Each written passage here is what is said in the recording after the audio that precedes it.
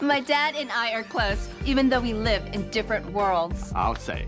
During the week, he's Mr. Showbiz. Weekends, he turns into Super Gardener. All week long, she's lost in cyberspace, and on weekends, she's rollerblade queen. And, then, there's keeping up with, the rest of the, family.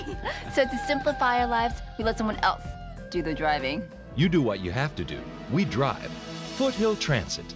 Ready to travel the information highway? You driving? yeah. Let's go. Oh,